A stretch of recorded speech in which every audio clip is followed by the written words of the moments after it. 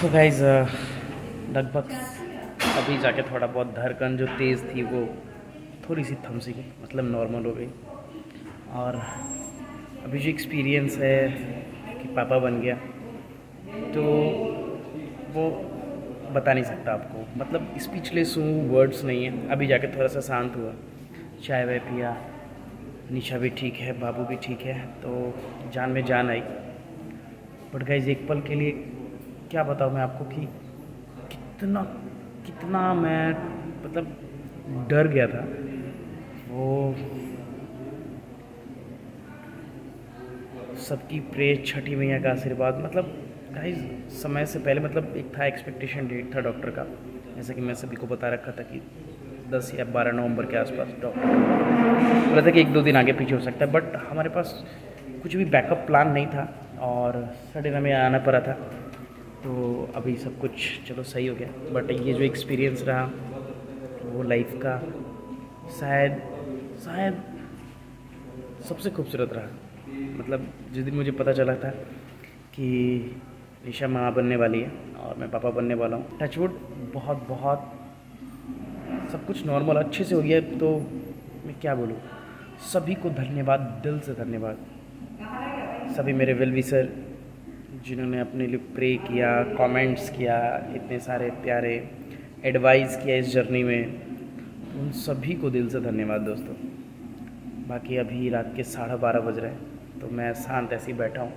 मतलब सुबह से गाइज़ कुछ खाया पिया नहीं, ना भूख लग रही थी, ना प्यास लग रही थी, बस छठ का अर्घ दिया। और माँ को थोड़ा बहुत पता भी था, नानी को बट मुझे कुछ नहीं पता था। मुझे लगा कि शायद नॉर्मल पेन हो रहा है, मुझे डॉक्टर के पास जाना है, लेके जाना है। चलाया था बट जो हुआ सब कुछ अच्छे से हो गया। कहते हैं ना बच्चा भी स्वस्थ है माँ भी स्वस्थ है। तो जान में जान आई है। और बस सोचा कि आप लोग से थोड़ा सा बताऊँ। तो भाई अभी रात के दो बज चुके हैं। और बहुत सारे डॉक्यूमेंट्स फिर से साइन करने थे। बहुत सारी स्लिप थी कुछ पर्ची थी आ, मतलब पेमेंट वगैरह की सारा कुछ। तो सारा कुछ बनवा के आया बट एक बज गए उसी में और भी एक घंटे से बैठा हूँ यहीं पे। बाकी लगभग तो सभी सो गए। बस जगह मैं हूँ और मेरा बेबी और माँ जगी हुई माँ के कह रही कि सो ही नहीं रही है। तो गाइज़ मतलब मेरा बेबी है गाइज़ और जंग जीत गया बारह घंटे निशा पूरा परेशान थी। पूरे लेबर पेन हो रहा था और बारह घंटे के स्ट्रगल करने के बाद और बहुत ही क्रिटिकल कंडीशन हो गया था गाइज़ मैं आपको बता नहीं सकता। और उस कंडीशन से लड़ के फिर मेरा बेबी बाहर आया तो इतना तो बनता है परेशान करने का। बट बहुत ज़्यादा खुश हूँ, घर पे सभी खुश है, घर पे सभी को बताया। मुझे तो नींद भी नहीं आ रही, कसम से बताओ तो भाई तो अभी माँ आई थी, सासू माँ मेरी तो कह रही थी कि तो मतलब तुम्हारा जो बेबी है, वो तो अभी सो ही नहीं रहा है। तो मैंने बोला कि कोई बात नहीं।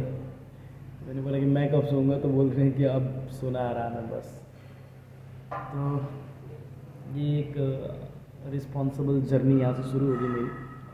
रिस्पॉन्सिबिलिटी तो काफ़ी बढ़ जाएगी लाइफ में। और बहुत सारी कुछ कुछ कहना है गाइज़ आप लोगों से बातें करनी है। अभी आप लोग को थैंक यू कहने के लिए मैं कुछ चीज़ें बना भी रहा था। तो वो कुछ थंबनेल टाइप का ही था और फ़ोटोज़ वगैरह सब कुछ बना रहा था। करीब आठ नौ महीने हो गए यूट्यूब पे अप्रॉक्सीमेट थर्टी थाउज़ेंड ये मक्खी कहाँ से है? यार तो यूट्यूब पे अप्रॉक्सीमेट थर्टी थाउज़ेंड से प्लस यानी तीस हज़ार सात सौ के अप्रॉक्सीमेट अभी सब्सक्राइबर सब्सक्राइबर क्या कहेगा? इस फैमिली है। इंस्टाग्राम पे भी चौदह हज़ार की फैमिली तो कभी सोचा नहीं था? इतना प्यार एडवाइस हर जगह जहाँ ज़रूरत हुई कहीं ना कहीं आप लोग वर्चुअली ही खड़े रहे। कुछ कुछ तो ऐसे हैं। कि गाइज़ अगर उनका कमेंट्स आता है तो ऐसे तो आप सभी फैमिली में कुछ लोग होते हैं ना फैमिली में खास हो जाते हैं। तो वो खास है, जिनके कमेंट्स आते हैं, इतने सारे प्रीसियस एडवाइस आते हैं, हर वो जगह जहाँ पर भी अगर ज़रूरत होती है, वो मतलब हर तरह से रहते तो एक बहुत ही स्ट्रेंथ मिलता है कि हर वो चीज़ें। फिर हम बहुत चीज़ें सीखे भी। सीरियसली बताओ तो भाई, बहुत चीज़ें में आइडिया नहीं थी तो बहुत चीज़ें आपकी कमेंट्स वो बहुत सारी बातें। क्योंकि मेरा कोई ऑपरेट मैं खुद से ही करता हूँ। मैं सारा कुछ एडिटिंग में सारा कुछ मैं देखता हूँ कमेंट सारा सेक्शन सबका रिप्लाई मैं करता हूँ या निशा करती है। तो हम लोग देखते भी हैं कि क्या हमारा कमेंट्स सारा हमारे लिए क्या है चीज़ें। टचवुड अभी तक, आज तक का एक भी निगेटिव कमेंट्स नहीं आया तो कहीं ना कहीं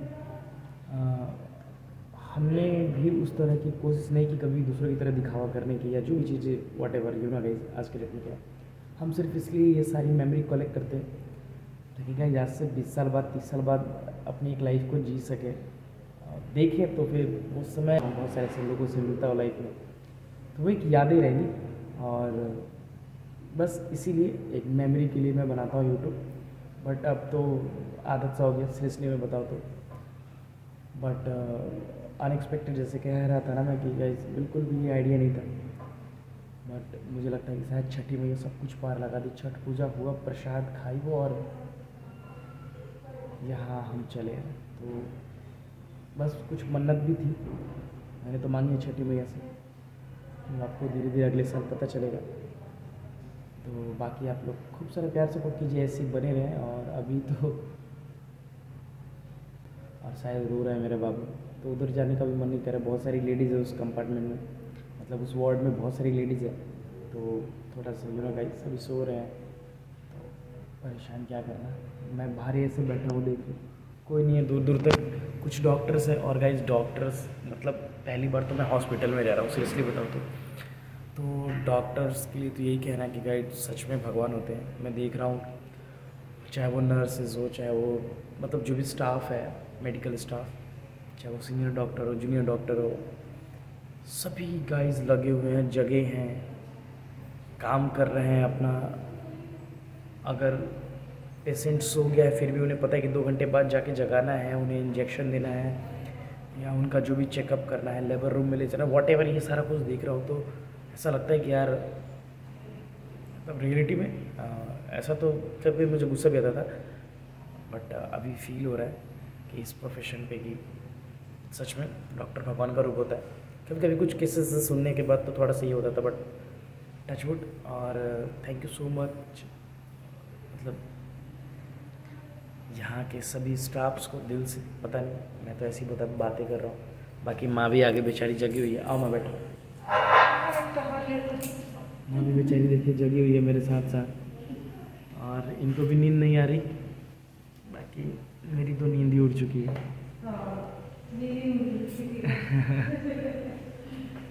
चलो गाइस कोई नहीं। हे फैमिली गुड मॉर्निंग तो गाइस फाइनली अभी जस्ट घर पे आया हूँ। और अभी करीब करीब सुबह के छः बज रहे हैं। आप बिलीव नहीं करोगे कि मैं तीन किलोमीटर पैदल चल के आ रहा हूँ, क्योंकि कोई ऑटो था ही नहीं, बस एंबुलेंस लगा हुआ था। मैं सोचा चलो रास्ते में लिफ्ट मिल जाएगा कहीं ना कहीं।